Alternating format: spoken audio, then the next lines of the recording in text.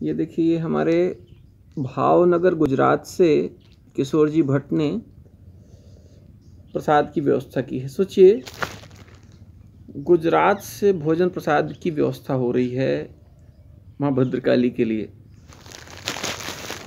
और इसको हम खोल के देखते हैं। ये हमारे जो किशोर भट्ट जी हैं, ये अन्न ब्रह्म प्रसाद जो बनाते हैं, भोजन बनाते हैं, ये सोलर एनर्जी से पूरा इसको तैयार करते हैं।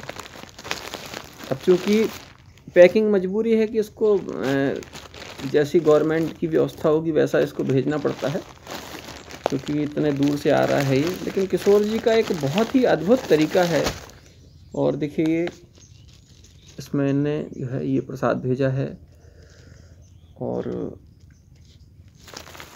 लगभग एक किलो 950 ग्राम का है ये। भट्ट जी गृह उद्योग के नाम से ये है। भट्ट जी मसाले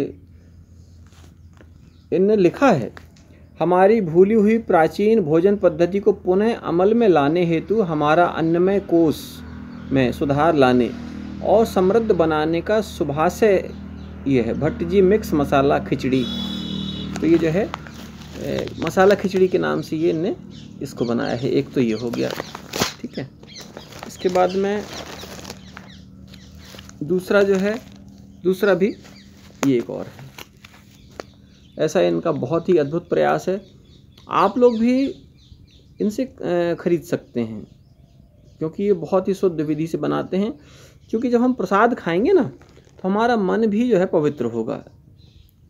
प्रसाद खाने का मतलब ये होता है, और जिस विधि से बनता है, क्योंकि इनकी विधि बहुत पवित्र है तो आप सभी इसको उपयोग करें।